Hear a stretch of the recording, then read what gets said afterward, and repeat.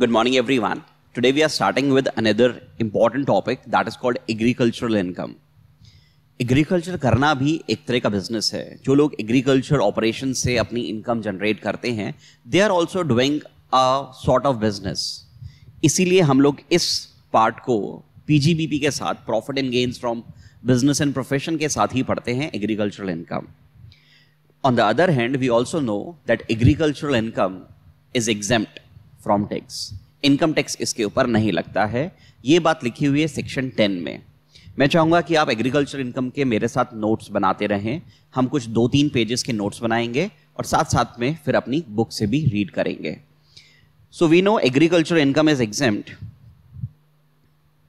agricultural income is exempt under section ten आपको पता है सेक्शन टेन होता है एग्जेम्पशन का सेक्शन टेन में इनकम एग्जेम्प्ट है specifically speaking, section 10, subsection 1. It says that your agriculture income is exempt.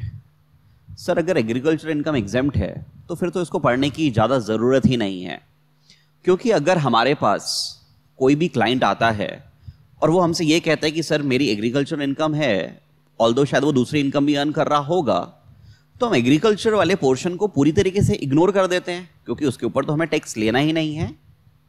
But the answer is no हम जानते हैं कि एग्रीकल्चरल इनकम के ऊपर हम टैक्स तो नहीं लेंगे बट एग्रीकल्चरल इनकम को कंसिडर किया जाता है असेसी का स्लैब रेट के लिए, उसका लेवल देखने के लिए कि उसके किस लेवल तक की इनकम आ रही है। I hope you remember the slab rates एक बार स्लैब रेट्स को रिवाइज कर ले। आपको पता है कि अगर income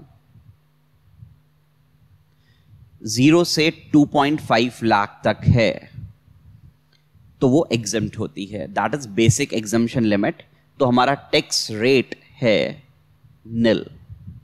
a person earns between zero to two point five lakh he is not required to pay tax इसी तरह हम जानते हैं जो सीनियर सिटीजन होते हैं प्लस रेसिडेंट उनके लिए basic exemption limit basic exemption limit उन लोगों के लिए थ्री लाख हो जाती है। जो सुपर सीनियर सिटीजन होते हैं उन लोगों के लिए फाइव लाख हो जाती है।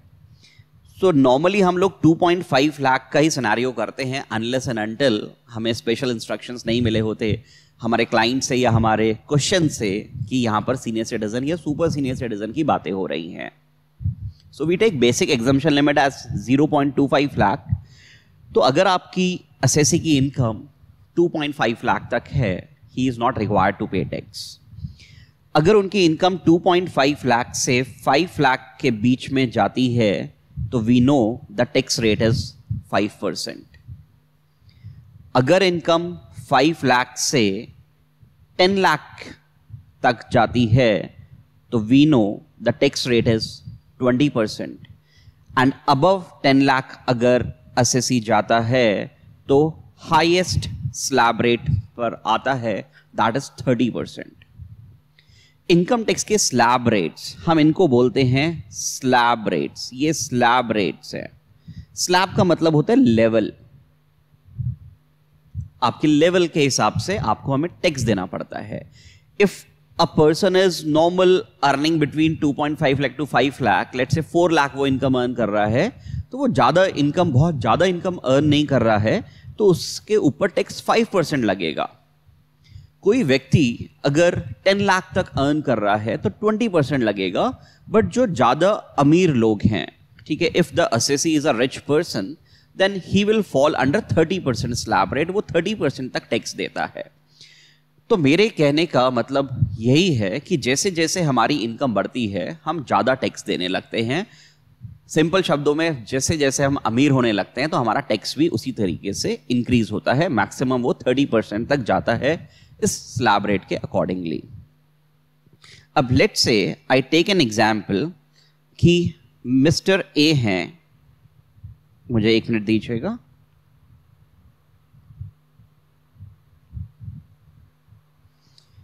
Let say this person is mister A ये मिस्टर ए हैं।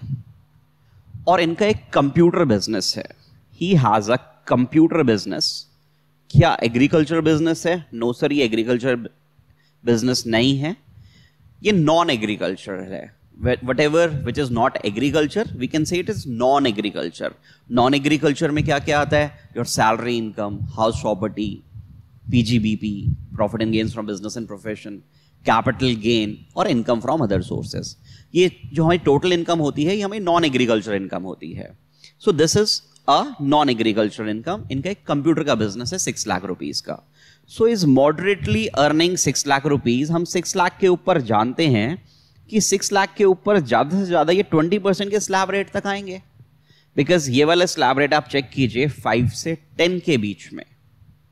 सिक्स लाख यहाँ पर आ रहा है तो ये अपने शुरू के 2.5 लाख तक टैक्स नहीं देंगे नेक्स्ट 2.5 लाख पर 5 परसेंट और बाकी के ऊपर 20 परसेंट का टैक्स इनसे ले लेंगे। So is moderately earning six lakh rupees बहुत ज़्यादा अमीर मैं इनको नहीं बोलूँगा, क्योंकि ये ज़्यादा अमीर हम किसको बोलेंगे? सर, जो 30 परसेंट के स्लैब रेट में आते हैं, वो ज़्यादा अमीर लोग हैं। तो मिस्टर ए को मैं इस समय ज़्यादा अमीर नहीं बोलूँगा। ठीक है? यहाँ तक बातें समझ में आ गई हैं। We are doing agricultural income but अभी मैं फ़िलहाल बेसिक बातें कर रहा हूँ। So this guy is running a computer business with an income of six lakh in a year let say इनकी एग्रीकल्चर से भी इनकम आती है। और कितनी है वो? वूपिंग ट्वेंटी लाख बीस लाख रुपए इनकी इनकम आती है which makes a total of six lakhs तो ये छब्बीस लाख रुपए अर्न कर रहे हैं। प्लीज़ बताइए, अगर ये छब्बीस लाख रुपए अर्न कर रहे हैं तो क्या ये मॉडरेटली है या फिर एक अमीर इंसान है? सर, ये तो काफ़ी अमीर इंसान है 26 लाख रुपए अर्न कर रहे हैं। इनके ऊपर तो 30 परसेंट के टैक्स रेट लगने चाहिए। Do you all agree with me because ये स्लैब रेट्स ये जो हमने स्लैब रेट्स देखे थे, ये ऐसे लगते हैं कि जैसे कि आप अमीर होते जाते हैं तो आपको ज़्यादा टैक्स देना पड़ेगा। Here also mister A is quite rich he is earning a good amount 26 lakh rupees तो इनको भी ज़्यादा टैक्स देना चाहिए मतलब 30 परसेंट के हिसाब से। बट अगर हम एक चीज़ देखें कि 20 लाख तो सर एग्जेम्ट इनकम है तो इसको तो इग्नोर कर देना चाहिए फुली और 6 लाख के ऊपर टैक्स लेना चाहिए और 6 लाख के ऊपर टैक्स जो मैक्सिमम जाएगा वो 20 परसेंट तक जाएगा, ठीक है? बट इनकम टैक्स ने कहा कि ऐसा नहीं करेंगे। हम एग्रीकल्चर इनकम के ऊपर टैक्स तो नहीं लगाएँगे। एग्रीकल्चर के इनकम के ऊपर टैक्स तो नहीं लगेगा बट इस इनकम को हम कंसिडर करेंगे आपके इनकम लेवल जज करने में। और अगर हमें लगा कि आप ज़्यादा अमीर हैं, आप नेक्स्ट स्लैब रेट में आ जाते हैं तो हम आपसे अकॉर्डिंगली उसी नए स्लैब रेट का ज़्यादा टैक्स लेने वाले हैं। ठीक है? इसको करते कैसे हैं? सबसे पहले मैं चाहूँगा आप मेरे साथ स्टेप्स लिखें और फिर हम इसको कुछ एग्जाम्पल्स के साथ समझेंगे। ठीक है? लिखिएगा। If an assessee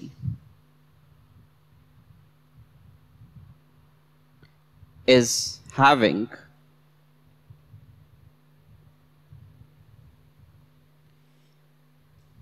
Agricultural plus non agricultural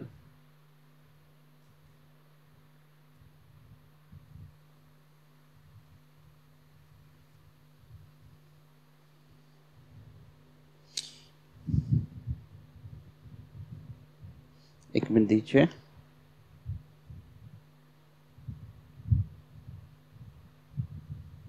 income then the text should be computed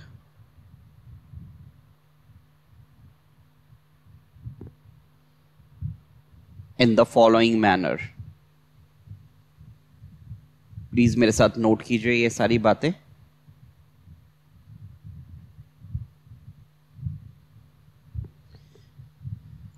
If an assessee is having agricultural income plus non agriculture income non agriculture मतलब इनका कोई सैलरी इनकम है या कोई बिज़नेस है दूसरा एग्रीकल्चर के अलावा तो टैक्स शुड बी कंप्यूटेड साफ़ साफ़ लिखा हुआ है tax should be computed in the following manner थोड़ा सा तरीका अलग हो जाएगा टैक्स निकालने का।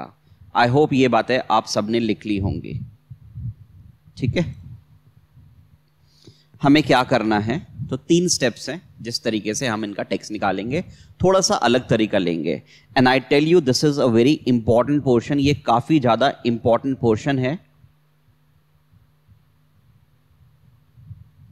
प्रैक्टिकली भी और एग्जामिनेशन पॉइंट ऑफ़ व्यू से भी काफ़ी ज़्यादा इंपॉर्टेंट है। एग्ज़ाम में अक्सर आता है। लिखिएगा। Step one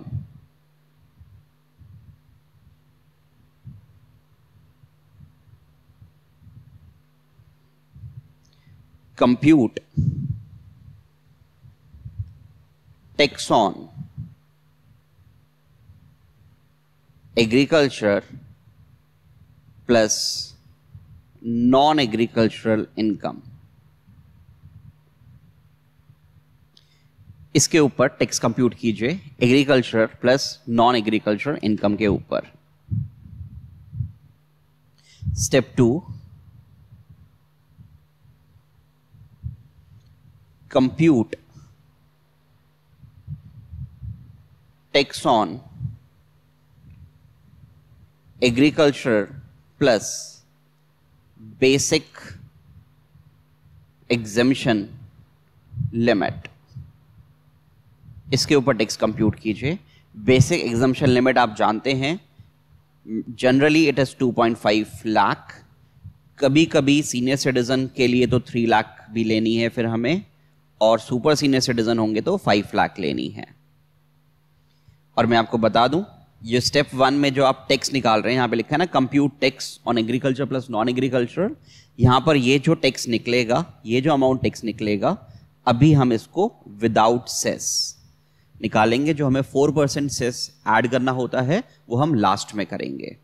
ये भी इनकम जो आपने इनकम के ऊपर टैक्स निकाला है this is also without cess please note कर लीजिएगा।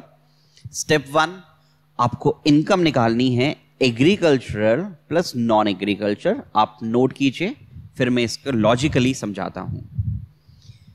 Step two agriculture plus basic exemption limit step three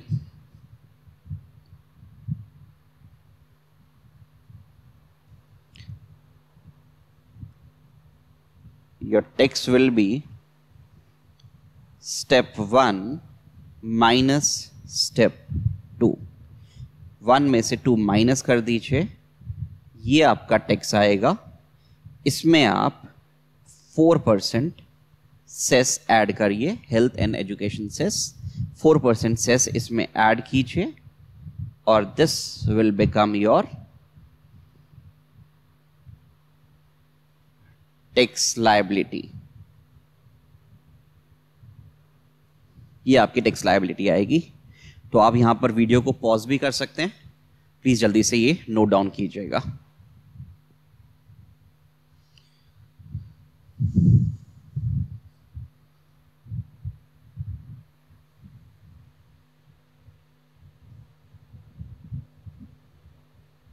कर लिया आप सबने?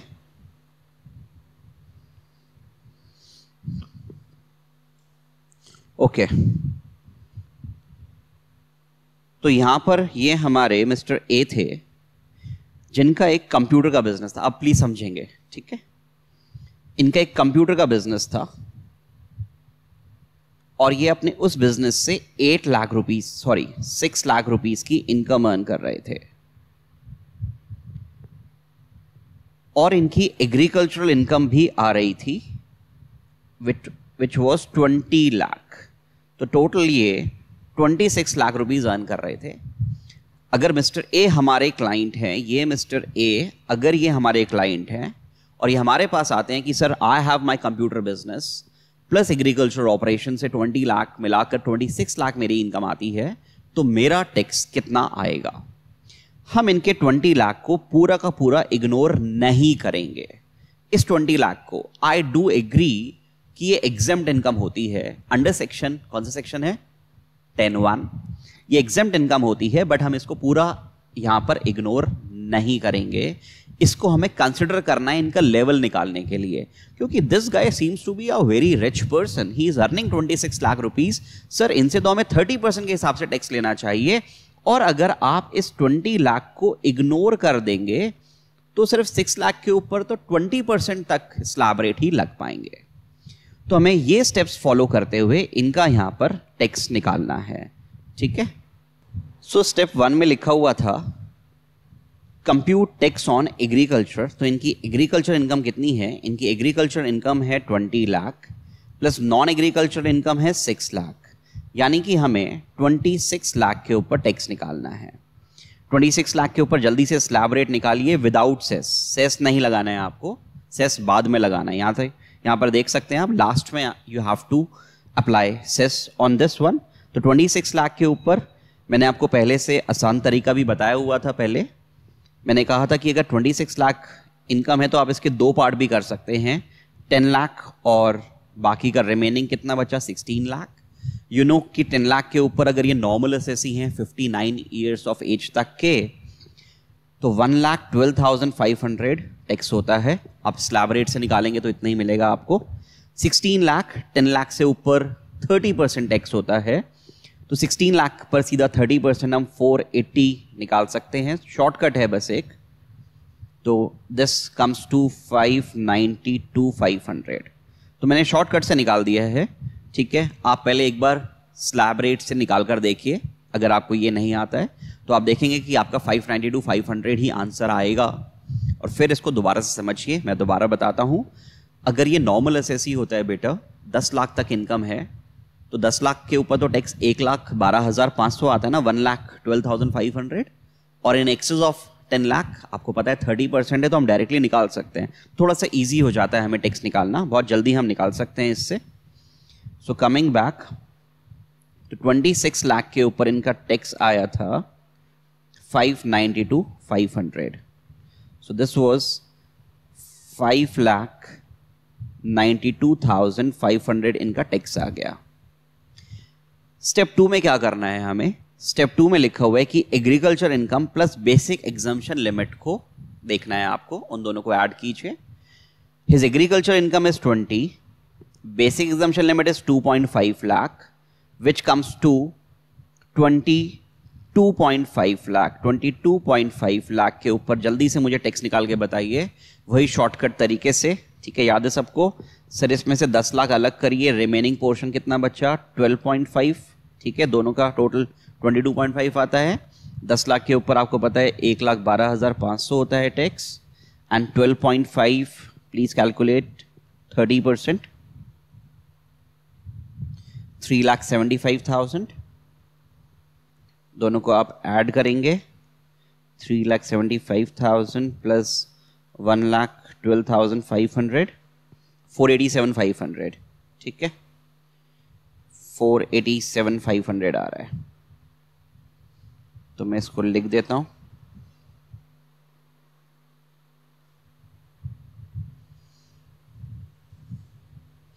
Four lakh eighty seven thousand five hundred ये आपका टैक्स आ गया है। So this is step one this is step two I hope I am clear step three में क्या करना है? सर इन दोनों को माइनस करना है. तो माइनस कर देते हैं इसको. Minus five ninety two five hundred one lakh five thousand ये आ गया सर हमारा टैक्स इसमें हम फोर परसेंट का सेस ऐड करेंगे तो we will get our tax liability ठीक है? इतना सिर्फ़, अभी समझिएगा, सिर्फ़ आपको लिखना नहीं है. आई गिव यू टाइम ठीक है, बाद में वीडियो पॉज भी कर सकते हैं। एक बार समझते हैं इसको। So one lakh five thousand इनका टैक्स आ गया, जिसके ऊपर हम फोर परसेंट सेस तो ऐड कर ही लेंगे। इसका लॉजिक समझिएगा। सबसे पहले देखिए कि this person is earning six lakh rupees की इनकम इनकी छह लाख की इनकम आ रही थी और इनकी एग्रीकल्चर इनकम आ रही थी ट्वेंटी लाख रुपीस की। हम इस ट्वेंटी लाख के ऊपर तो टैक्स नहीं लेंगे बट इस सिक्स लाख की इनकम के ऊपर टैक्स लेंगे, ठीक है? So this six lakh should be taxable अब because this guy is a rich person he is a rich assessee तो इनका टैक्स भी उसी के हिसाब से ज़्यादा आना चाहिए, ज़्यादा स्लैब रेट के लिए। क्योंकि he is already earning 26 lakh तो ये 30 परसेंट के ब्रैकेट में फॉल होते हैं। तो हम टैक्स तो 6 लाख पर ही लगाएँगे बट 30 परसेंट के हिसाब से।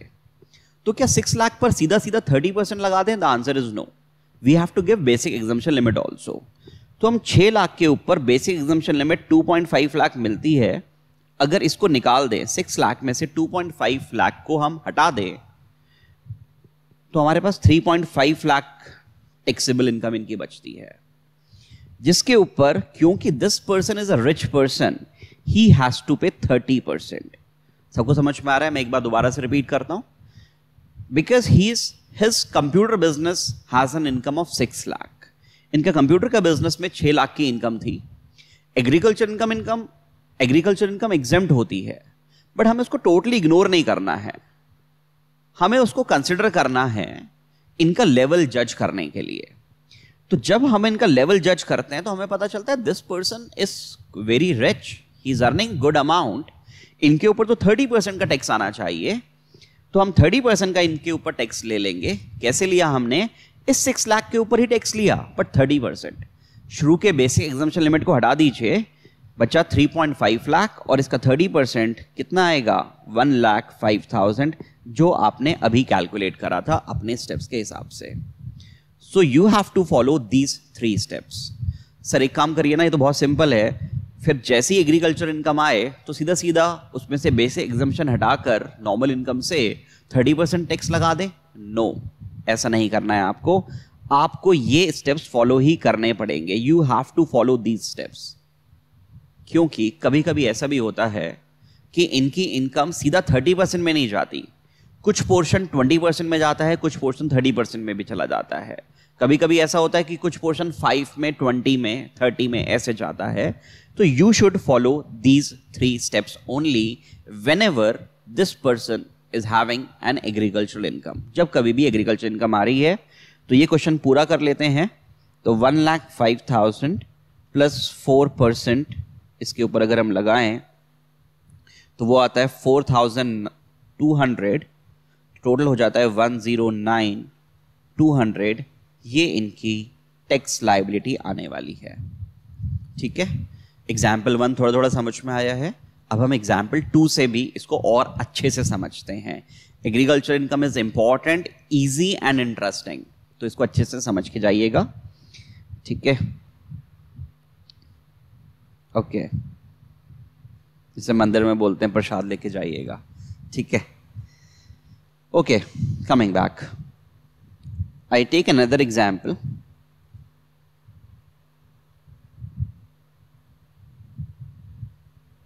Mr. B. He has PGB पे इनकम इनकी कोई बिज़नेस से इनकम आती है लेट से एट लाख फिफ्टी थाउज़ेंड और इनकी एग्रीकल्चरल इनकम भी है लेट से टू लाख सो अगर हम सिर्फ़ 8.5 लाख को देखें 8 लाख फिफ्टी थाउज़ेंड तक इनका टैक्स रेट जो आता है सर वो 20 परसेंट तक स्लैब में ही जाएगा because he is not exceeding 10 lakh but अगर मैं इन दोनों को ऐड करके देखता हूँ तो that is coming 10.5 lakh 10 lakh को वो एक्सीड कर रहा है. यानी कि ये भी हमें अमीर नज़र आ रहे हैं 10 लाख से ज़्यादा अर्न कर रहे हैं. ठीक है? इतनी बातें समझ में आ रही हैं। तो चलिए, जल्दी से हम इनका टैक्स निकालेंगे। तो क्या इस एसएससी के ये two lakh rupees entirely ignore कर दें? क्या ये पूरा, का पूरा इग्नोर कर दें? और सिर्फ़ 8.5 लाख के ऊपर टैक्स लगाएँ? The answer is no we have to consider his agriculture income also to determine his income level तो बहुत सिंपल है। हम इसका स्टेप्स से करना शुरू करेंगे। स्टेप वन स्टेप वन कहता था कि टैक्स निकालिए। एग्रीकल्चर इनकम के ऊपर प्लस नॉन एग्रीकल्चर इनकम के ऊपर तो ऐड कर लेते हैं। एग्रीकल्चर इनकम इनकी टू लाख है नॉन एग्रीकल्चर इनकम इनकी एट पॉइंट फाइव लाख है। तो टेन लाख फिफ्टी थाउज़ेंड के ऊपर टैक्स कितना आता है? सर वही आसान तरीका था, दस लाख के ऊपर आ जाएगा, एक लाख बारह हज़ार पाँच सौ और पचास हज़ार के ऊपर थर्टी परसेंट आ जाएगा फिफ्टीन थाउज़ेंड तो तो one twenty seven five hundred one twenty seven five hundred अगर आप में से किसी स्टूडेंट को, किसी को भी व्यक्ति को, अगर टेक्स के स्लैब रेट्स में कोई प्रॉब्लम आती है तो पहले टेक्स के स्लैब रेट्स एक बार अच्छे से कर लें। बहुत आसान होते हैं, पाँच दस मिनट में आपको आ जाते हैं। उसके बाद आप निकाल सकते हैं, ठीक है? अभी भी कुछ स्टूडेंट डायरेक्टली नहीं निकाल पा रहे हैं तो अभी स्लैब रेट से निकालिए आप, ठीक है? जैसे आप नॉर्मली आपने सीखा है, उसके बाद आपको ये समझ में भी आ जाएगा आराम से। Okay coming back to step two tax on agricultural income plus basic exemption limit तो एग्रीकल्चर इनकम इनकी है two lakh basic exemption limit होती है टू लाख फिफ्टी थाउज़ेंड यानी कि फोर लाख फिफ्टी थाउज़ेंड के ऊपर टैक्स निकाल दीजिए। फोर लाख फिफ्टी थाउज़ेंड के ऊपर टैक्स निकाले स्लैब रेट से, इसमें से ढाई लाख हटा दीजिए, इसके ऊपर five percent ten thousand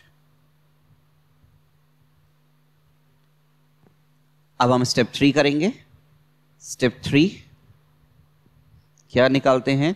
Tax one minus tax two कितना आएगा? One lakh seventeen thousand five hundred plus four percent cess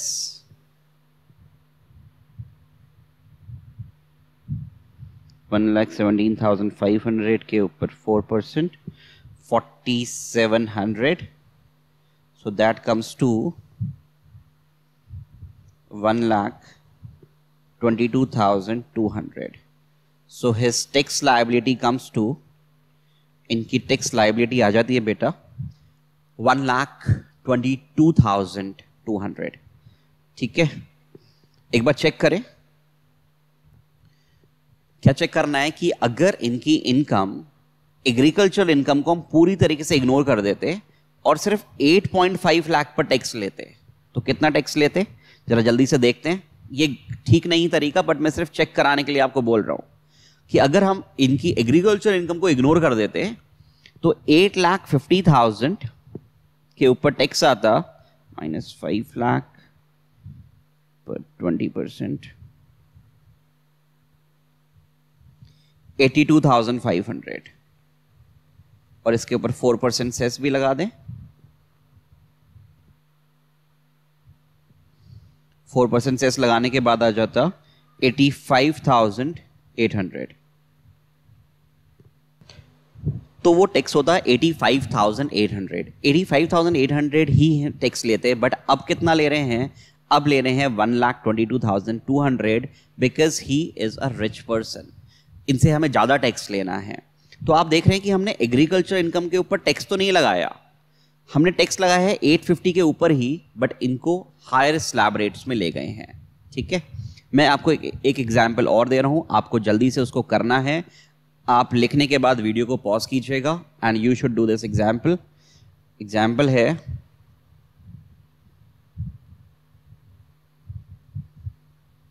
mister C इनकी पीजीबीपी की इनकम आती है सेवन लाख। इनकी सैलरी की भी इनकम है। सैलरी मतलब सैलरी इनकम कंप्यूटेड है पूरी। आपको इसमें से कोई फोर्टी, फिफ्टी थाउज़ेंड माइनस नहीं करने हैं। सेक्शन सिक्सटीन वगैरह। कंप्यूटेड इनकम है थ्री लाख। और इनकी एग्रीकल्चर इनकम भी है five lakh. So total this person is earning fifteen lakh rupees जल्दी से मुझे टैक्स निकाल के बताइए कि इस 15 लाख के ऊपर कितना टैक्स आता है। ये दोनों इनकी नॉन एग्रीकल्चर इनकम है और ये इनकी एग्रीकल्चर इनकम है। ठीक है? जल्दी से कीजिएगा।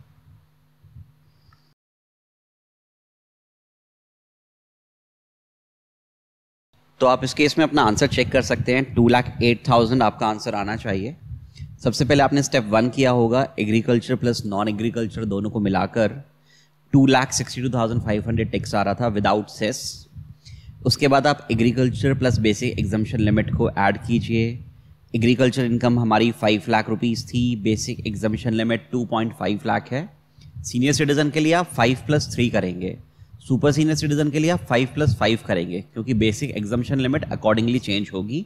बट जनरल सिचुएशन में it is two point five lakh तो सेवन लाख फिफ्टी थाउज़ेंड के ऊपर आपका टैक्स आया. 62,500 tax 1 minus tax 2 that comes to 2 lakh two lakh में four percent cess two lakh eight thousand rupees ठीक है? सब लोगों को समझ में आ गया? जब कभी भी एग्रीकल्चरल इनकम होगी तो टैक्स हमारा इस तरीके से कैलकुलेट होगा। बाद में जो भी चीज़ एडजस्टमेंट्स करनी है लाइक सेस या फिर सरचार्ज या फिर रिबेट आप बाद में ही करेंगे। एक मैं और एग्ज़ाम्पल लेना चाहूँगा रिबेट के साथ। ठीक है? हम लोग जानते हैं section 87 A, section 87 A rebate का होता है।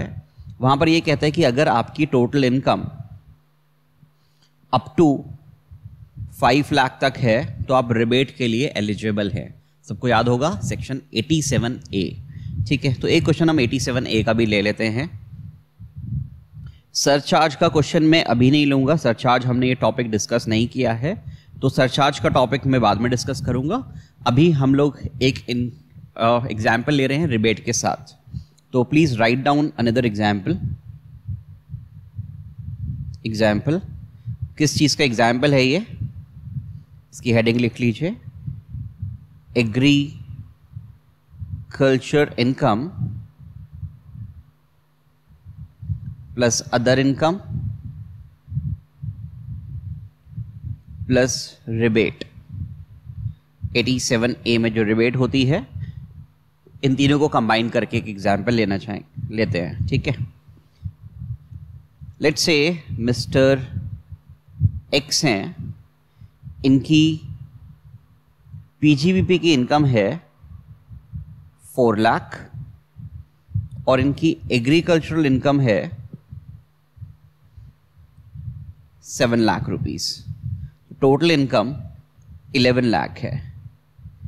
आप बोलेंगे, सर, इनकी इनकम तो इलेवन लाख रुपीज़ है, इनको तो रिबेट मिलना नहीं चाहिए। बट मैं आपको बता दूँ कि अगर आप 87 ए पढ़ते हैं तो वहाँ पर लिखा हुआ है कि कोई भी एस जिसकी total income total income up to five lakh है। यहाँ पर क्या टोटल इनकम इनकी इलेवन लाख है? नहीं.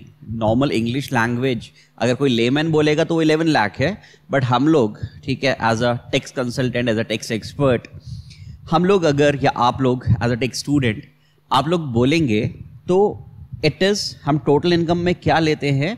टोटल इनकम में हम लेते हैं अपनी टेक्सेबल पोर्शन वाले इनकम यानी कि salary house property PGBP capital gain I F section ten की जो इनकम होती है, इसको हम क्या बोलते हैं? एग्जेम्ट इनकम ये हमारी एग्जेम्ट इनकम होती है। और इसका एक और नाम है। क्या नाम है? Income which does not form part of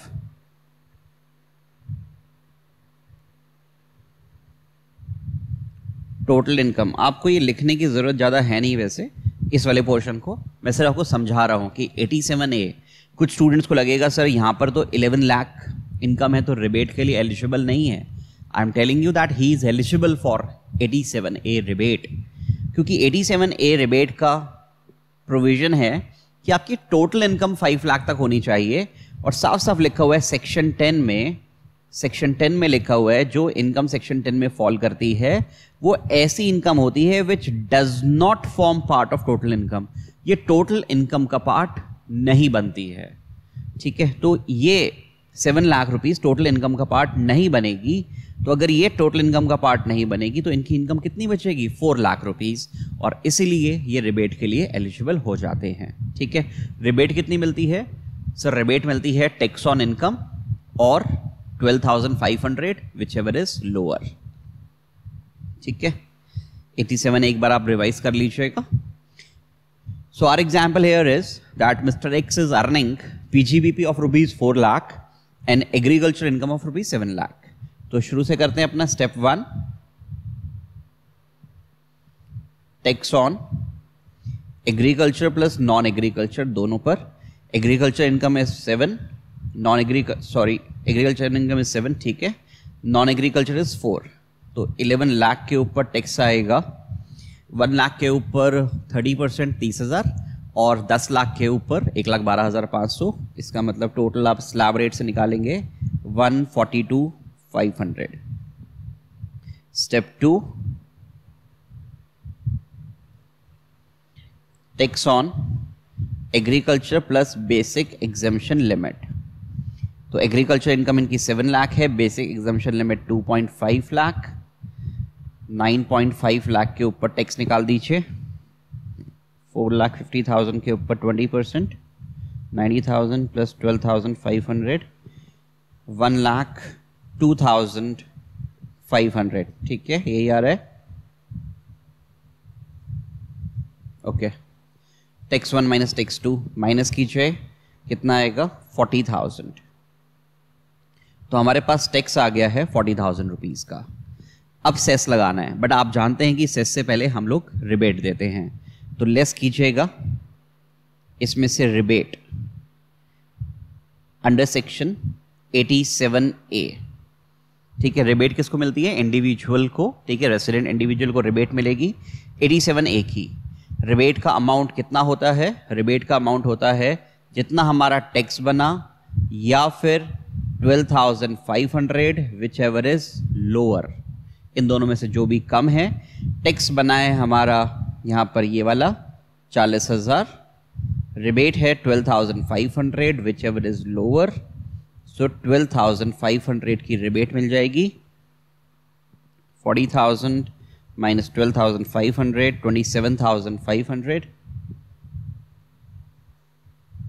इसके ऊपर आप फोर परसेंट सेस लगा दीजिए। तो यहाँ पर फोर परसेंट सेस लगाने के बाद मैं डायरेक्ट कर रहा हूँ। फोर परसेंट सेस लगाने के बाद आएगा twenty eight thousand six hundred so this is your answer तो ये हमारा आंसर हो जाता है। तो प्लीज़ जल्दी से इसको कॉपी कर लीजिए। This example was with rebate ये रिबेट के साथ हमारा एग्ज़ाम्पल था। ठीक है? Again it is an important example मैं इसको इंपॉर्टेंट मार्क कर लेता हूँ। इंपॉर्टेंट एग्ज़ाम्पल है। ठीक है? दोबारा से एक बार रिवाइज कर ले। Step one agriculture plus non agriculture agriculture income इनकी सेवन थी नॉन एग्रीकल्चर फोर थी इलेवन लाख के ऊपर टैक्स बना one forty two five hundred step two agriculture plus basic exemption limit agriculture seven lakh basic exemption limit two point five lakh that makes nine point five lakh के ऊपर tax निकालिए one lakh two thousand five hundred दोनों को minus कीजिए tax one minus takes to step one minus step two that comes to forty thousand forty thousand के ऊपर rebate भी मिलेगी ट्वेल्व थाउज़ेंड फाइव हंड्रेड की और इसके बाद इनको टैक्स देना पड़ेगा सेस को मिलाकर twenty eight thousand six hundred ठीक है? और याद कीजिए, अगर इनकी एग्रीकल्चर इनकम नहीं होती, हम शुरू से पढ़ रहे हैं आज के लेक्चर में एग्रीकल्चर इनकम को हम कैसे कंसिडर करते हैं? एग्रीकल्चर इनकम के ऊपर कोई भी आपसे पूछे, क्या एग्रीकल्चर इनकम टैक्सेबल होती है? विल से नो एग्जेम्प्ट है under section ten one I'm again repeating याद कीजिए एग्रीकल्चर इनकम एग्जेम्प्ट है अंडर सेक्शन टेन वन में ये एग्जेम्प्ट होती है बट हम एग्रीकल्चर इनकम को कंसिडर करते हैं अपने लेवल जज करने के लिए। सर क्या सारी एग्ज़ाम इनकम को जो ten two ten three ten four इन सब में आती है कि सबको ऐसा किया जाता है? No it is only and only with agricultural income agricultural income के साथ हम ऐसा करते हैं, बाकी की इनकम के साथ हम इस तरह की कंप्यूटेशन नहीं करते, वो फुली एग्ज़ाम होती हैं, ठीक है? तो जो बाकी के एग्जाम्ड इनकम है सेक्शन टेन में, हम उनको नहीं यहाँ पर इंक्लूड करते उसको कंसिडर नहीं किया जाता है it is only with the case of agricultural income ठीक है? अच्छा याद कीजिए, क्योंकि इनकी इनकम चार और सात थी अगर हम एग्रीकल्चर को पूरा इग्नोर कर देते तो चार लाख के ऊपर टैक्स निकालते। चार लाख के ऊपर टैक्स आता, छोटा सा अमाउंट का आता फाइव परसेंट में जा रहा है, ढाई लाख हटा दीजिए, डेढ़ लाख के ऊपर फाइव परसेंट आता, और रिबेट आने के बाद वो सारा का सारा नलीफाई हो जाता। So if he would be earning just four lakh PGBP तो शायद इनका टैक्स आता नहीं। But now he is quite rich as a C he is earning eleven lakh rupees तो यहाँ पर इनको टैक्स देना पड़ेगा and that is twenty eight thousand six hundred सबको समझ में आता है? कुछ नोट्स आपको लिखने पड़ेंगे। ये जो हमने मेथड किया है, इसके बारे में कुछ नोट्स लिखिएगा।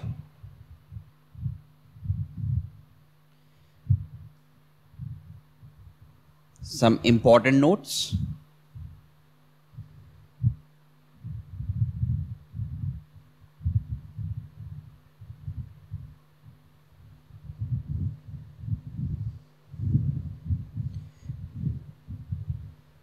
The above method.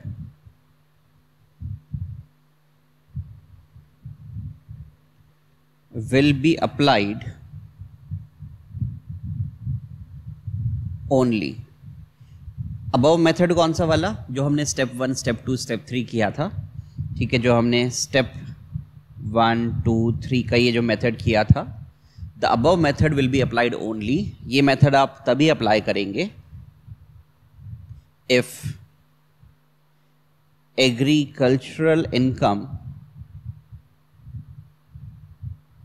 is more than rupees five thousand अगर एग्रीकल्चर इनकम पाँच हज़ार रुपए से ज़्यादा है, तब हम उसको कंसिडर करते हैं.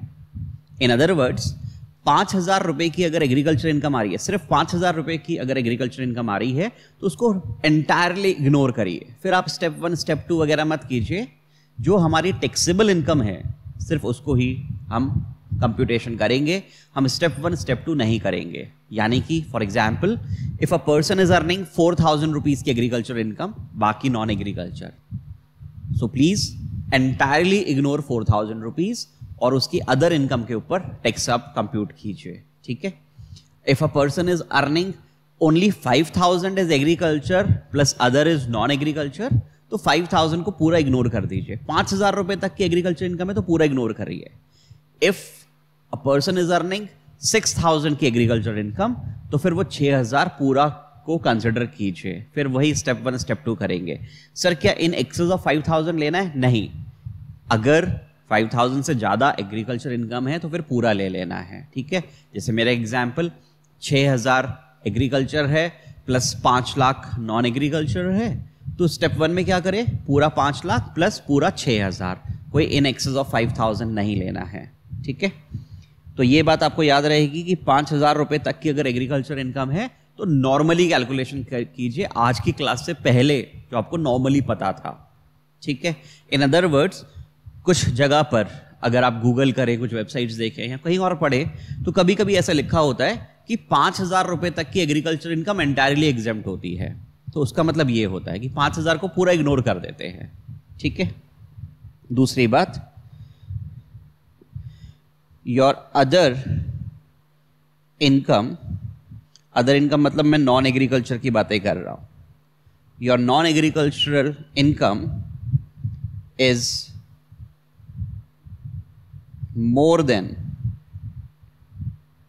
basic exemption limit अगर आपकी अदर इनकम यानी कि salary PGBP IFS capital gain वगैरह हाउस प्रॉपर्टी अगर ये इनकम बेसिक एग्जामेशन लिमिट से कम है, फिर तो आपका वैसे भी टैक्स नहीं बनेगा। अब मैं दोबारा से रिपीट कर रहा हूँ, आपकी other income basic exemption limit से ज़्यादा होनी चाहिए, तभी आप ये मेथड फॉलो करेंगे।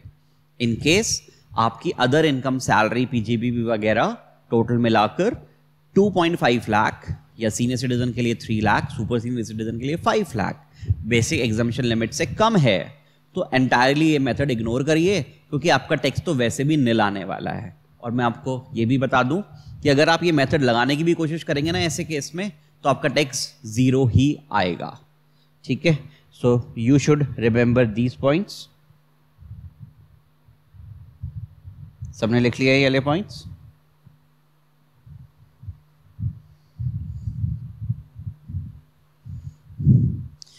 एक और नोट लिखिएगा।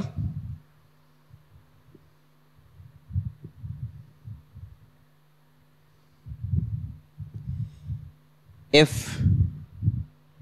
an assessee has only only agricultural income अगर उसकी सिर्फ़ एग्रीकल्चर इनकम है कोई और इनकम है नहीं no other income no other income कोई और इनकम नहीं है सिंपल वर्ड्स में देन टैक्स इज़ ज़ीरो तो उसका कोई टैक्स नहीं आता। अगर किसी व्यक्ति की सिर्फ़ और सिर्फ़ एग्रीकल्चरल इनकम है, कितनी सर दो लाख, चार लाख, दस लाख, पचास लाख, एक करोड़, दो crore. If a person is having only and only agricultural income amount कितना भी इट इज़ एंटायरली एग्जाम्ड वो पूरी की पूरी एग्जाम्ड रहती है। फिर आप स्टेप लगा ही नहीं पाएँगे, क्योंकि agriculture plus non agriculture non agriculture zero ही मिलेगा। अगर आप इसको अपने स्टेप्स में लाना भी चाहो, चाहोगे ना तो भी आपका आंसर ज़ीरो ही आने वाला है, क्योंकि स्टेप वन और स्टेप टू दोनों ही सेम आएँगे। और स्टेप वन में से स्टेप टू जब माइनस करेंगे तो यू विल रिसीव ज़ीरो तो हम इसको सिंपल टर्म्स में कह सकते हैं। आपके MCQ के लिए भी मल्टीपल चॉइस क्वेश्चन के लिए भी इंपॉर्टेंट है। If a person is only having agricultural income तो आप इसको पूरा का पूरा इग्नोर कर दीजिएगा। ठीक है? इतनी बातें समझ में आती हैं? चलिए नेक्स्ट पार्ट इसका एग्रीकल्चर इनकम में क्या क्या आता है? इतना सबने लिख लिया है?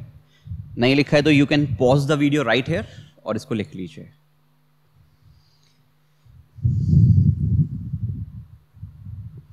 Okay next point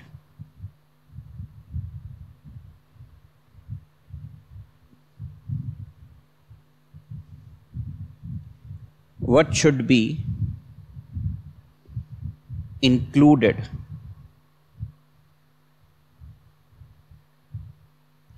In agricultural income हमें क्या क्या चीज़ें इंक्लूड करनी हैं अपनी एग्रीकल्चरल इनकम में? क्या क्या चीज़ें? कब हम बोलेंगे कि एग्रीकल्चरल इनकम है? One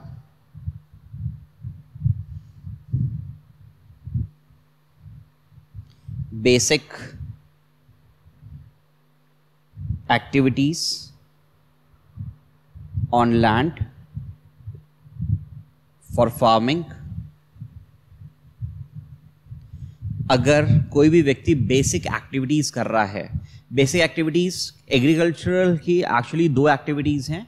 जब अब आप कोई भी पेड़, कोई भी पौधा लगाते हैं उसके लिए पहले आपको सॉइल फर्टाइल करना पड़ता है, ठीक है? सॉइल को, उसको प्रॉपरली बनाना पड़ता है कि जिससे कि आप जो भी क्रॉप लगा रहे हैं, वो ठीक से प्रोड्यूस हो पाए। तो जो आप बेसिक एक्टिविटीज़ करते हैं सॉइल पर, ठीक है? सॉइल को फर्टाइल करने पर, फिर आप उसमें से सीड्स को सो करते हैं, बीज को बोते हैं, उसको हम बेसिक ऑपरेशंस कहते हैं, ठीक है? मतलब कि जो हम लोग सॉइल के ऊपर करते हैं। तो अगर कोई व्यक्ति ऐसे ऑपरेशंस करता है, सिर्फ़ उसका काम सिर्फ़ इतना है, उसके बाद वो दूसरा काम करता है मतलब सिर्फ़ लोग उसको हायर करते हैं कि आप हमारे यहाँ पर सिर्फ़ बेसिक ऑपरेशंस करेंगे। So if a client comes to you और वो कहते हैं कि, सर, मैं सिर्फ़ लोगों के ना फार्मर्स के, उनके खेत में जाकर, उनके फ़ील्ड में जाकर सिर्फ़ उनको फर्टाइल करने का काम कर देता हूँ, ठीक है, वो मुझे उसके पैसे देते हैं। तो this person is doing only basic operations इसको भी हम एग्रीकल्चर इनकम ही बोलते हैं। Second point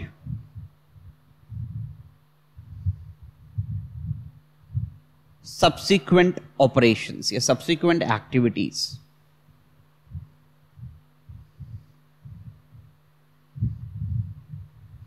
for या फिर फॉर फ़ार्मिंग जैसे कि आपकी प्लांट के ऊपर आप कोई भी एक्टिविटीज़ कर रहे हैं सब्सिक्वेंट एक्टिविटीज़ प्लांट को ग्रो कर रहे हैं, उसको कटिंग कर रहे हैं, उसकी पैकिंग कर रहे हैं, सिर्फ़ उसको एग्रीकल्चर तक अगर आप एक्टिविटीज़ कर रहे हैं तो इसे इज़ कॉल्ड सब्सिक्वेंट एक्टिविटीज़ तो दो तरह की एक्टिविटीज़ है, होती हैं। बहुत ज़्यादा इंपॉर्टेंट नहीं है एग्जामिनेशन पर्पज़ के लिए बट कभी कभी इस तरह की बातें आ जाती हैं कि बेसिक एक्टिविटीज़ भी और सब्सिक्वेंट एक्टिविटीज़ भी दोनों हम एग्रीकल्चर एक्टिविटीज़ ही बोलते हैं। अगर आपके पास कोई क्लाइंट आता है और वो ये कहता है कि, सर, मैं सिर्फ़ सब्सिक्वेंट एक्टिविटीज़ करता हूँ। पहले से सॉइल फर्टाइल हो जाता है, फिर मेरा काम शुरू होता है और मुझे उस चीज़ के पैसे मिलते हैं। तो this person is carrying out agriculture activities इसका भी ये एग्रीकल्चर इनकम ही मानी जाएगी। दोनों ही इनकम सेक्शन टेन वन में कवर्ड होती हैं। तीसरा, अगर आपका नर्सरी प्लांटेशन का बिज़नेस है। नर्सरी प्लांटेशन का मतलब होता है कि आप जानते हैं नर्सरीज में आपको छोटे छोटे प्लांट्स मिलते हैं, पॉट्स में, ठीक है, गमलों में जो छोटे छोटे पौधे मिलते हैं आपको प्लांट्स। तो आप नर्सरी में जाते हैं, एक तो बच्चों की नर्सरी होती है जो वहाँ बच्चे पढ़ते हैं, मैं उसकी नर्सरी की बातें नहीं कर रहा हूँ, किंडर गार्डन की बातें नहीं कर रहा हूँ मैं। आई एम टॉकिंग अबाउट जहाँ पर आपको छोटे छोटे आपको पौधे खरीदने होते हैं you you go and purchase plants pots में मिलते हैं फ्लावर पॉट्स में, उसको नर्सरी प्लांटेशन बिज़नेस बोलते हैं। अगर कोई व्यक्ति ऐसा बिज़नेस भी कर रहा है तो भी ये एग्रीकल्चर एक्टिविटीज़ ही होती है। और मैं आपको बता दूँ, ज़रूरी नहीं है कि ये आप बिज़नेस या ये जो एक्टिविटीज़ हैं, किसी विलेज में करें। ऐसा बिल्कुल भी ज़रूरी नहीं है कि आप ये रूरल एरिया में करें। लिख लीजिएगा प्लीज़ ये बातें। इवन अर्बन एरिया में भी आप करेंगे ठीक है? फॉर एग्ज़ाम्पल आप मुंबई में नरेमन पॉइंट में भी जाके खेती कर रहे हैं, ठीक है? तो भी, ठीक है? तो भी ये एक्टिविटीज़ एग्रीकल्चर एक्टिविटीज़ ही मानी जाएँगी whether you are performing them in rural area और कनॉट प्लेस में भी आप जाकर दिल्ली में कनॉट प्लेस में जाकर भी आप अपने खेत में ऐसी एक्टिविटीज़ करते हैं, या कोई नर्सरी प्लांटेशन का बिज़नेस है तो again it is it will be included in your agriculture activities ये एग्रीकल्चर एक्टिविटीज़ में ही इंक्लूड होगा आर यू गेटिंग दिस दोबारा से एक बार रिपीट कर लेते हैं। हम जानते हैं कि एग्रीकल्चर इनकम एग्ज़ाम होती है। बट एग्रीकल्चर इनकम में क्या क्या आता है? Basic activities subsequent activities plus nursery plantation fourth point rent from agriculture farm अगर आपका कोई एग्रीकल्चरल फार्म है, यानी कि आपका कोई खेत है, वहाँ से आपको रेंट मिलता है, ठीक है? आपको रेंट मिलता है प्रोवाइडेड ये बात इंपॉर्टेंट है such place is use for agriculture वो प्लेस एग्रीकल्चर के लिए यूज़ हो रहा हो। यानी कि कुछ लोग होते हैं, कुछ लोगों के गाँव में ज़मीन होती है। You have lots of you have a big piece of land in any village but आपकी जॉब लग गई है। Let's say you are a salaried as और आपकी जॉब लग गई है now you are working within a city let's say Bangalore ठीक है? अब बेंगलोर में प्लेस है you are having a salary income आपकी सैलरी इनकम आती है। बट आपका एक गाँव है जहाँ पर आपके कुछ खेत हैं। वहाँ पर आप खुद फ़ार्मिंग नहीं करते हैं बट आपने किसी और को किराए पर दिया हुआ है और आपका रेंट आता है। तो अगर ये आपका रेंट आ रहा है वहाँ से, ठीक है, वो आपको पर मंथ का या पर ईयरली जैसे भी है, वो आपको रेंट देते हैं। अगर वो आपको रेंट दे रहे हैं तो this will be your agriculture income so in that case please ध्यान दीजिए यू अपना एग्ज़ाम्पल लीजिए कि sir I am working in Bangalore ठीक है, मैं बेंगलोर में काम कर रहा हूँ विद एनी सॉफ्टवेयर कंपनी ठीक है, मैं किसी सॉफ्टवेयर कंपनी के साथ काम कर रहा हूँ, मेरी सैलरी इनकम आती है. सैलरी इज़ टेक्सेबल प्लस अगर आपका कोई पुराना, कोई पहले का गाँव है, वहाँ से आपकी, आपके पास लैंड था, वहाँ पर फ़ार्मिंग होती है. कौन करता है फ़ार्मिंग कोई भी करता हो. That we are not concern जिसको भी आपका जो टेनेंट है, जिसको भी आपने किराए पर दे रखा है, वहाँ पर वो फ़ार्मिंग कराता है. अगर वो आपको रेंट पे करता है तो that will be your agricultural income in that case you are having two types of income agriculture भी और नॉन एग्रीकल्चर भी। नॉन एग्रीकल्चर आपकी सैलरी इनकम आ गई है। तो अगर आप सैलरी इनकम आ गई है तो आप उसको उसी तरीके से कंप्यूट करेंगे step one step two step three जैसे कि अभी हमने सीखा था। समझ में आता है? तो रेंट आपका एग्रीकल्चर फार्म से आ रहा है और वो एग्रीकल्चर फार्म या वो फार्म या वो जगह लैंड आपका एग्रीकल्चर के लिए यूज़ हो रहा है। कुछ लोग क्या करते हैं? वो लोग अपना पूरा का पूरा खेत, अपना पूरा लैंड अपना एरिया रेंट पर दे देते हैं और वहाँ पर एयरटेल अपने टावर लगा देता है। ठीक है, देखिए ना, आपने टेलीकॉम टावर लग जाते हैं। ठीक है, एक पीस ऑफ़ लैंड था, जहाँ पर पहले कभी खेती होती थी but now there is a tower ठीक है एयरटेल ने अपना टावर लगा दिया है। उस केस में अगर एयरटेल ने आपका टावर लगा दिया और एयरटेल आपको रेंट पे करता है that rent is not agriculture क्योंकि यहाँ पे साफ़ साफ़ लिखा हुआ है such place is use for agriculture operation वो जगह पर एग्रीकल्चर ऑपरेशन हो रहे हों। तो इस तरह की जब आपकी इनकम आती है, इसको हम एग्रीकल्चर इनकम बोलते हैं। ठीक है? इतनी बात समझ में आती है? तो फ़र्स्ट पार्ट था एग्रीकल्चर को हम तीन पार्ट्स में करेंगे। फ़र्स्ट पार्ट था कि जब कभी भी हमारी एग्रीकल्चर इनकम आती है, इसको कंप्यूट कैसे करते हैं? So we understand part step one step two step three ठीक है? सेकेंड है एग्रीकल्चरल इनकम में क्या क्या आता है? तो ये बातें एग्रीकल्चरल इनकम में आती हैं। आई होप ये आपने लिख ली होगी। नहीं लिखी है तो please pause the video right here और जल्दी से इसको लिख लीजिए। ठीक है? Now we are coming to our third part third है इंपॉर्टेंट भी है। ठीक है? थर्ड पार्ट पर आते हैं।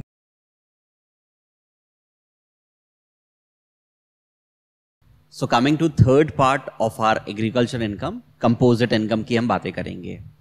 कंपोजिट इनकम क्या होती है? कभी कभी कोई भी व्यक्ति अपने ऑपरेशंस अपने बिज़नेस ऑपरेशंस करते समय उसका एक लिमिट तक वो एग्रीकल्चर एक्टिविटीज़ करता है और उसके बाद वो नॉन एग्रीकल्चर एक्टिविटीज़ करने लगता है।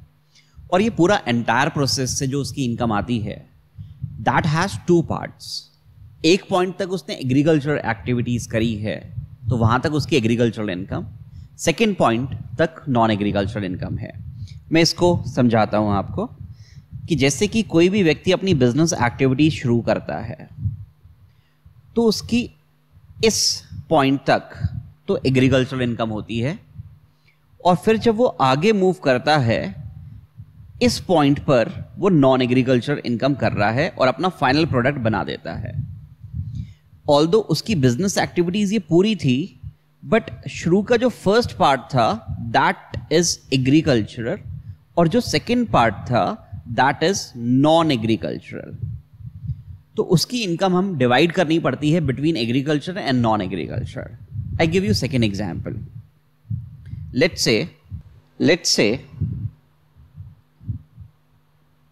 ये है मिस्टर सुरेश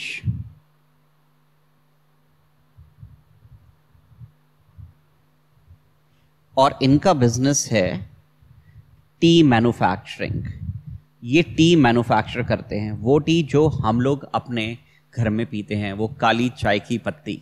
ठीक है? ग्रीन टी की बातें नहीं कर रहा हूँ, मैं नॉर्मल चाय की बातें कर रहा हूँ। ठीक है? Mister Suresh is a tea manufacturer तो प्लीज़ बताइए, क्या इनकी कोई और इनकम है या बिज़नेस इनकम है? Sir he is a tea manufacturer जैसे टाटा टी है ताजमहल है, ये सब टी के मैन्युफैक्चरर हैं और इनकी बिज़नेस इनकम आ रही है।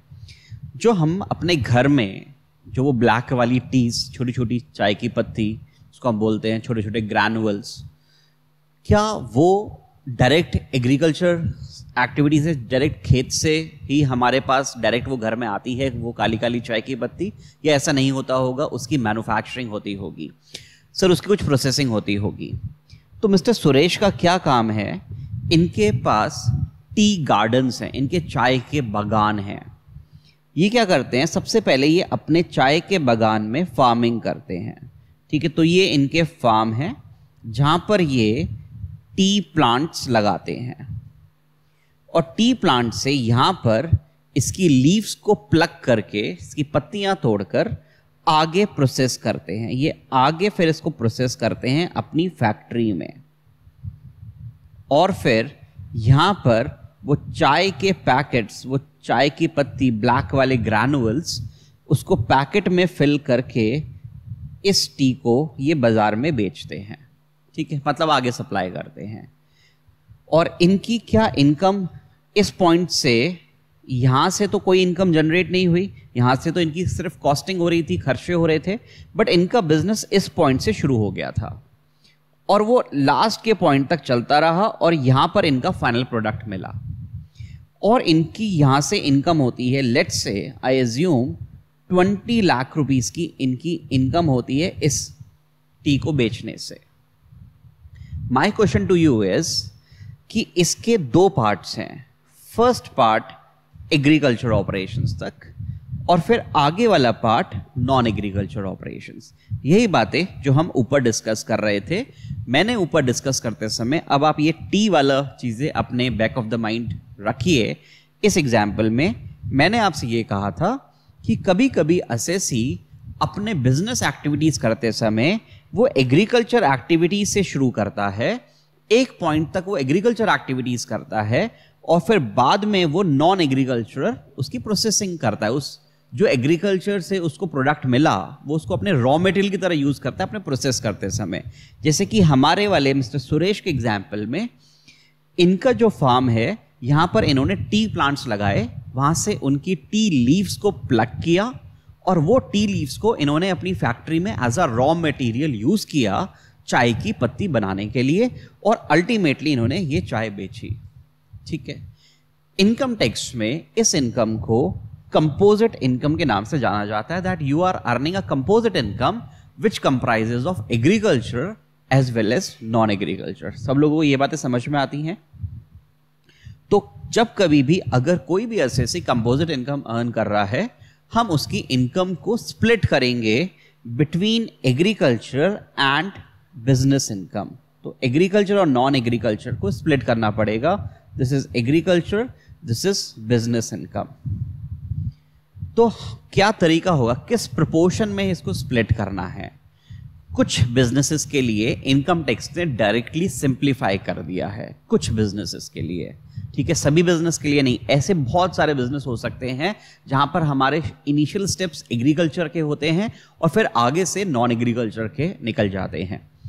तो बट इनकम टैक्स ने कुछ रूल्स बनाए हैं, जिसमें से rule seven A seven B और हम रूल एट की बातें करेंगे, जहाँ पर इनकम टैक्स ने खुद रूल्स बनाए हुए हैं कि हम कितना परसेंट इसको प्रपोर्शन करेंगे। जैसे कि उन्होंने ग्रोइंग ऑफ़ टी के लिए ग्रोइंग ऑफ़ टी के लिए रूल बनाया हुआ है। इट इज़ रूल एट आपको रूल नंबर इतना याद करने की बहुत ज़्यादा ज़रूरत नहीं है। But this proportion you should learn ये प्रपोर्शन हमें याद करना होगा। एग्जामिनेशन पॉइंट ऑफ़ व्यू से काफ़ी ज़्यादा इंपॉर्टेंट है। एमसीक्यू के लिए तो है ये इंपॉर्टेंट वैसे भी नॉर्मल सब्जेक्टिव क्वेश्चन के लिए भी ये इंपॉर्टेंट है। ग्रोइंग ऑफ़ टी ठीक है? ग्रोइंग ऑफ़ टी के लिए आपकी जो इनकम आती है 60% is going towards agricultural and 40% is going towards business 60% agriculture की तरफ़ जाएगी और 40% बिज़नेस की तरफ़ आएगी। तो इनके लिए आप ऐसे भी कर, सक, कर सकते हैं कि ज़्यादा प्रोपोर्शन टुवर्ड्स एग्रीकल्चर रखा गया है। अभी हम दूसरे बिज़नेस भी पढ़ेंगे। मैं आपको बता दूँ, तीन बिजनेसेस के बारे में तो इनकम टैक्स ने डायरेक्ट रूल्स बना दिए हैं। तो यहाँ पर हमें कोई दिक्कत होती ही नहीं है, हम डायरेक्टली इसको निकाल सकते हैं। कौन कौन से बिज़नेस हैं वो? टी का टी चाय, दूसरा कॉफ़ी का और तीसरा रबर का। ठीक है? टी कॉफ़ी रबर के लिए तो डायरेक्ट रूल्स बने हुए हैं। बाकी बिजनेसेस के लिए कैसे करते हैं ये प्रपोर्शन वो भी हम सीख लेंगे। ईजी है। ठीक है first I talk about these three businesses और उसमें भी सबसे पहले हम लोग चाय की बातें कर लेते हैं, ठीक है? थोड़ी देर में चाय पियेंगे बट फिर भी यहाँ पर वापस आते हैं। सिक्सटी फोर्टी लेट से सबसे पहले जो हमने अभी थोड़ी देर पहले स्टेप वन में हमने पार्ट वन में किया टैक्स कैलकुलेशन कैसे करेंगे? तो हमारे पास एग्ज़ाम में क्वेश्चन आता है कि मिस्टर सुरेश या कोई भी नाम से कि this person is having a tea manufacturing business and his income is twenty lakh calculate his tax इनका टैक्स निकालिए। अब हम ऐसा नहीं कि इनकी पीजीबीपी की इनकम ट्वेंटी लाख डायरेक्ट मानते हुए बीस लाख पर टैक्स निकाल देंगे और बोलेंगे ये आंसर आ गया। No because this person is earning agricultural as well as non agriculture agriculture भी अर्न कर रहा है नॉन एग्रीकल्चर भी अर्न कर रहा है तो हम लोग कैलकुलेशन उसी तरीके से करेंगे। तो आर रूल सेज कि 20 लाख जो इनकी इनकम आई है, इसका 60 परसेंट एग्रीकल्चर मानिए और 40 परसेंट नॉन एग्रीकल्चर मानिए। तो 20 लाख का 60 परसेंट दैट इज़ 12 लाख को हम एग्रीकल्चर और 40 percent that is 8 lakh rupees को नॉन एग्रीकल्चर मानेंगे। ठीक है? So this percentage you have to learn ठीक है? अभी हम कॉफ़ी का और रबर का भी याद कर लेंगे। इजी परसेंटेज है। ठीक है? बट इंपॉर्टेंट करें फिर स्टेप्स अब आप जानते हैं। अब मैंने आपको दे दिया agriculture twelve non agriculture eight step one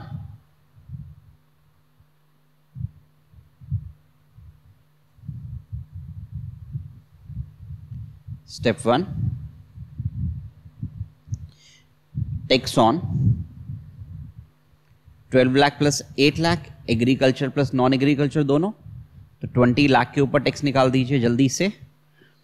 ten lakh के ऊपर थ्री लाख और four lakh twelve thousand five hundred आएगा. Step two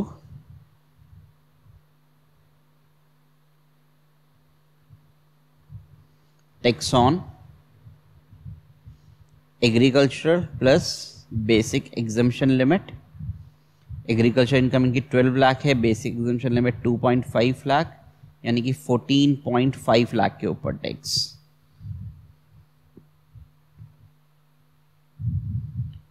One lakh thirty five plus one lakh twelve thousand five hundred. Two forty seven five hundred. एक बार मैं ऊपर बीस लाख वाला भी रीचेक कर लेता हूँ। दस लाख के ऊपर, तीन लाख, एक लाख बारह, ठीक है। चार लाख बारह हज़ार पाँच सौ minus two forty seven five hundred, one sixty five. तो इनका टैक्स आया है one lakh sixty five thousand, ठीक है। क्या इनको रिबेट मिलेगी? 87 ए की रिबेट मिलेगी? नहीं सर, रिबेट के लिए एलिजिबल नहीं है, क्योंकि रिबेट के लिए इनकी टोटल इनकम देखनी है। टोटल इनकम मतलब एग्ज़ाम वाली नहीं देखनी। तो एग्ज़ाम वाली एग्रीकल्चर होती है, वो नहीं देखनी। वो इनकम एट लाख है एट लाख पर तो कोई रिबेट के प्रोविज़न ही नहीं है। अगर आपकी इनकम फाइव लाख तक होती तो there would have been a rebate तो अब हम सीधा फोर परसेंट सेस ऐड कर देंगे। सिक्सटी सिक्स हंड्रेड और ये आ जाता है हमारा one seventy one six hundred this is our tax liability ठीक है? सब लोग समझ गए हैं? ठीक है, समझ को समझ में आ गया। ओके, मैं एक बार इसको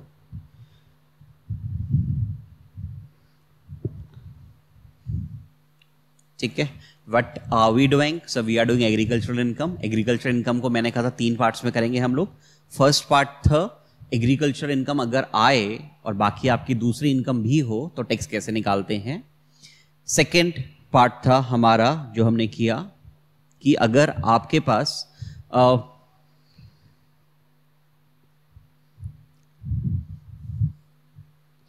सेकेंड पार्ट में हमने किया कि एग्रीकल्चरल इनकम में क्या क्या आता है। तो सर रेंट ऑफ़ लैंड भी आता है, अगर वो एग्रीकल्चर ऑपरेशंस के लिए यूज़ हो रहा होगा। बेसिक ऑपरेशन सेकेंडरी ऑपरेशन जिसको हम सब्सिक्वेंट ऑपरेशंस भी बोलते हैं प्लस नर्सरी प्लांटेशन बिज़नेस भी आता है। हम थर्ड और लास्ट पार्ट पढ़ रहे हैं कंपोजिट इनकम कंपोजिट इनकम में कभी कभी असेसी की ऐसी इनकम होती है जिसमें एक पोर्शन एग्रीकल्चर का होता है, दूसरा पोर्शन नॉन एग्रीकल्चर का होता है। तो हमें उसको डिवाइड करना पड़ता है between agriculture and non agriculture तो एग्रीकल्चर और नॉन एग्रीकल्चर को डिफाइन कर डिवाइड करने के लिए हम क्या तरीका अपनाएँगे? So for some businesses we have rules कुछ बिज़नेस के लिए रूल्स हैं। कौन कौन से बिज़नेस के लिए? टी कॉफ़ी रबर के लिए। तो रूल्स बने हुए हैं। तो पहले एक बार इसको लिख लेते हैं। तो मेरे साथ प्लीज़ लिखिएगा। composite income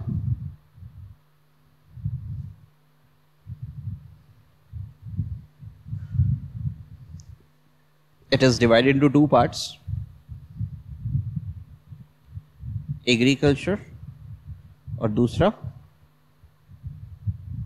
बिजनेस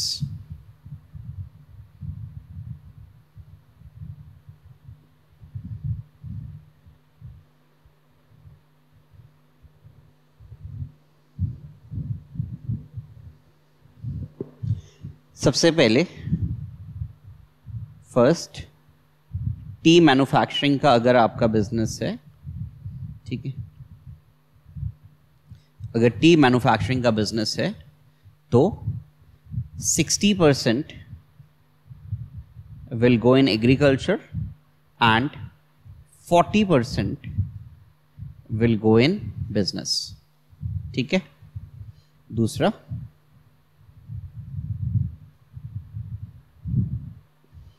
अगर आपका रबर प्लांटेशन का बिज़नेस है तो 65 percent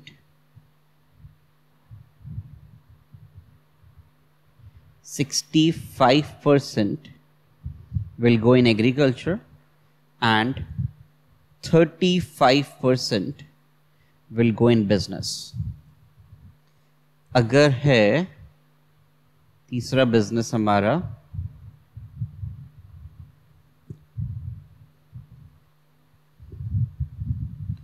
कॉफ़ी।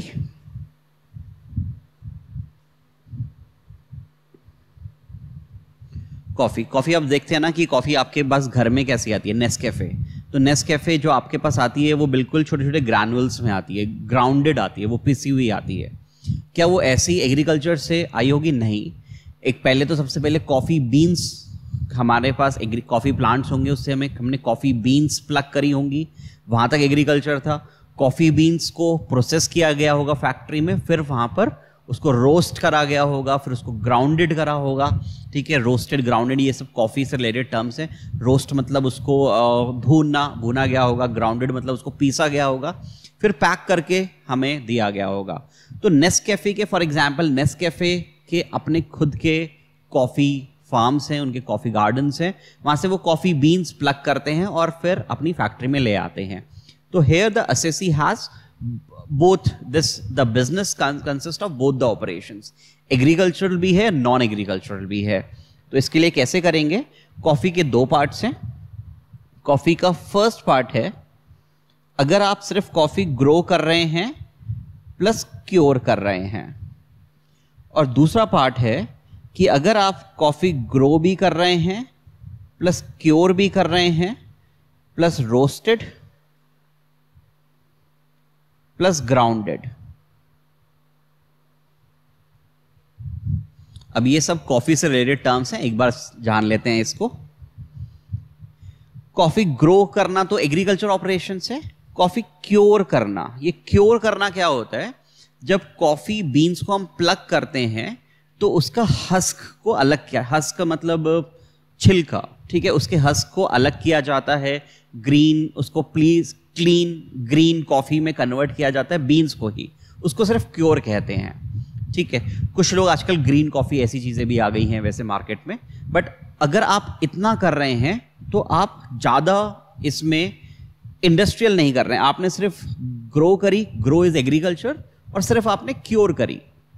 बट अगर इनकेस कुछ लोग ग्रो भी करते हैं क्योर भी करते हैं, रोस्टेड भी करते हैं, उसको भूनते भी हैं और ग्राउंडेड भी करते हैं, ठीक है? उसको उस शेप में, जिस शेप में हम पीते हैं कॉफ़ी को, ऐसे अगर वो आती है तो इसका मतलब जो मैंने हाईलाइट करा है यहाँ पर येलो में, वो नॉन एग्रीकल्चर ऑपरेशन हैं। तो प्लीज़ बताइए नॉन एग्रीकल्चर कहाँ पर ज़्यादा हो रहे हैं? सर बी में ज़्यादा हो रहे हैं, ठीक है? बी में यहाँ पर ज़्यादा ऑपरेशन हो रहे हैं नॉन एग्रीकल्चर क्योर भी कर रहे हैं, रोस्टेड भी कर रहे हैं ग्राउंडेड भी कर रहे हैं। यानी कि यहाँ पर बिज़नेस ज़्यादा हो रहा है। फ़र्स्ट केस में ये जो क्योर वाला है, यहाँ पर बिज़नेस हो तो रहा है बट कम हो रहा है बहुत। ठीक है? तो यहाँ पर कितना रखा गया है?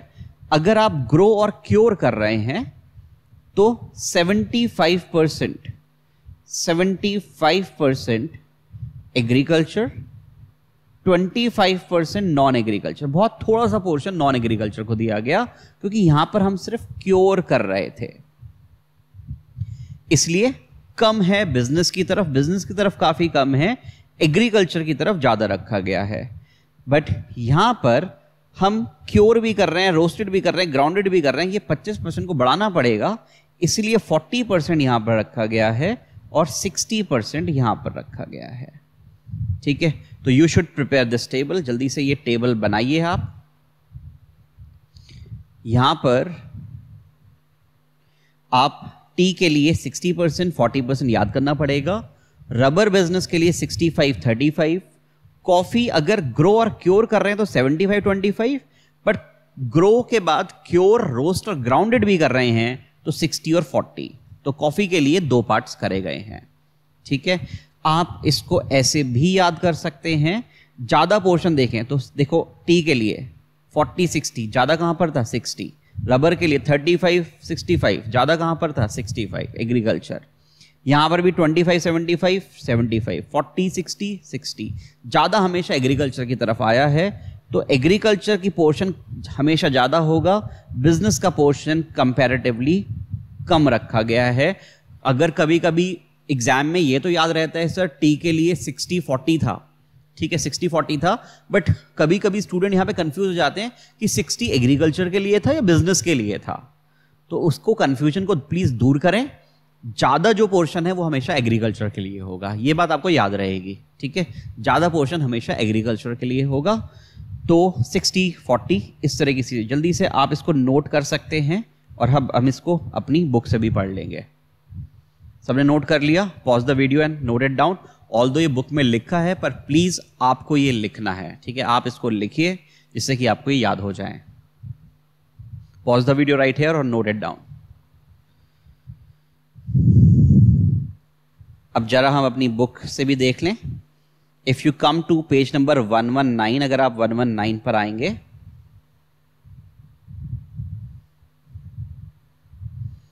पेज 119 तो यहाँ पर हम पढ़ रहे हैं computation of business income in cases where income is partly agricultural and partly business in nature कभी कभी हमारी इनकम पार्टली बिज़नेस की होती है और पार्टली एग्रीकल्चर की होती है। इस केस में हमारे पास कुछ रूल्स हैं रूल नंबर अगर याद हो जाए तो बहुत अच्छी बात है नहीं भी याद हो जाए तो इट्स ओके okay, चल जाएगा। बट आपको ये जो परसेंटेजेस हैं you should remember these percentages ये परसेंटेजेस हमें हमेशा याद होनी चाहिए। ठीक है? तो यहाँ पे लिखा हुआ है। सबसे पहले चलिए टी का शुरू करते हैं। Income from manufacturing of tea tea के बारे में हम कितना करेंगे? देखो फ़र्स्ट पोर्शन है बिज़नेस इनकम का सेकेंड पोर्शन है एग्रीकल्चरल इनकम का। तो एग्रीकल्चर के लिए हमेशा ज़्यादा आएगा, ठीक है? एग्रीकल्चर के लिए हमेशा ज़्यादा आएगा बिज़नेस के लिए कम आएगा, ठीक है? तो देखिए कैसे लिखा हुआ है। टी के लिए एग्रीकल्चर 60 है और बिज़नेस इनकम 40 है। ज़्यादा एग्रीकल्चर के लिए, कम बिज़नेस के लिए। रबर के लिए 65 एग्रीकल्चर 35 बिज़नेस ठीक है? कॉफ़ी के लिए अगर आप कॉफ़ी सिर्फ़ ग्रो और क्योर कर रहे हो, ठीक है, सिर्फ़ ग्रो और क्योर कर रहे हो तो 25 बिज़नेस 75 परसेंट एग्रीकल्चर और अगर आप कॉफ़ी क्योर, रोस्ट और ग्राउंडेड तीनों कर रहे हो। दोबारा से रिपीट कर रहा हूँ, यहाँ पर नॉन एग्रीकल्चर बिज़नेस ऑपरेशंस क्या क्या कर रहे हो अपनी फैक्ट्री में? सर क्योर कर रहे हैं, रोस्ट कर रहे हैं ग्राउंडेड कर रहे हैं तो फैक्ट्री में थोड़े से ज़्यादा ऑपरेशन होने लगे। पहले हमने 25 लिया था बट इस केस में क्योंकि थोड़े से ज़्यादा ऑपरेशंस कर रहे हैं तो वी विल टेक 40 परसेंट और 60 percent towards your agriculture so this these percentages are important these percentages are important ये परसेंटेजेस इंपॉर्टेंट है. रूल्स ये वाले याद रहें या ना याद रहें तो कोई प्रॉब्लम नहीं है but you should remember these percentages आगे इलस्ट्रेशंस भी है तो मैं चाहूँगा कि आप ये इलस्ट्रेशंस को प्लीज़ आप ट्राई करेंगे, ठीक है? दिस इज़ इंपॉर्टेंट आपको ये होमवर्क में दे रहा हूँ मैं। आपको ये करनी है। बाकी की चीज़ें हम लोग नेक्स्ट क्लास में कंटिन्यू करेंगे। ठीक है? थैंक यू सो मच उससे पहले दो मिनट में रिकैप कर लेते हैं। हमने आज क्या क्या किया है? We are doing agricultural income agriculture income में सबसे पहले हमने किया कि अगर आपकी एग्रीकल्चर इनकम आ रही है तो उसको कंप्यूट कैसे करना है?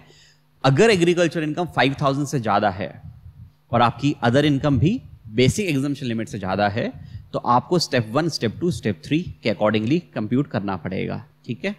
और अगर रिबेट का केस है तो आपको रिबेट और सेस बाद में लगाने हैं। दूसरा हमने किया था कि एग्रीकल्चर ऑपरे इनकम में क्या क्या आता है क्या क्या इंक्लूड होता है तो हमने उसमें देखा कि basic operation subsequent operation rent या नर्सरी प्लांटेशन बिज़नेस भी हमारी एग्रीकल्चर इनकम में आएगा। थर्ड लास्ट में हमने देखा था कि अगर पार्टली एग्रीकल्चर ऑपरेशंस कर रहे हैं आप और पार्टली बिज़नेस ऑपरेशंस कर रहे हैं तो कितना परसेंट हम लोग एग्रीकल्चर में लेते हैं, कितना नॉन एग्रीकल्चर में लेते हैं तो कुछ बिजनेसेस के लिए तो इनकम टैक्स ने डिफाइन कर दिया है। बट बाकी अदर बिजनेसेस भी तो हैं, जैसे कि कोई इंसान पोटैटो चिप्स बनाता है। पोटैटो चिप्स का मतलब है उसके पहले पोटैटो को पहले वो प्लांटेशन करता है सॉरी पोटैटो उगाता है, उसके बाद वो पोटैटो के बाद चिप्स बनाता है। या दूसरा बिज़नेस है शुगर का। शुगर आपको पता है शुगर फैक्ट्री में बनती है ठीक है शुगर मिल होती हैं। तो ये लोग के फॉर एग्ज़ाम्पल इनके अपने शुगर केन फार्म से पहले ये शुगर केन लाते हैं अपने ही फार्म से जो इनका एग्रीकल्चर ऑपरेशन है फिर उसको लेकर जाते हैं अपने मिल में और वहाँ से ये शुगर प्रोड्यूस करते हैं और फिर शुगर आपको बेच देते हैं। सो so, ऐसे बिजनेसेस का क्या होगा? क्योंकि इनकम टैक्स ने सिर्फ़ हमें तीन बिज़नेस के लिए कॉफ़ी टी रबर के लिए ही परसेंटेज बताई है। बाकी बिज़नेस के लिए क्या होगा? That will continue in our next lecture thank you so much next lecture में मिलते हैं. Bye and take care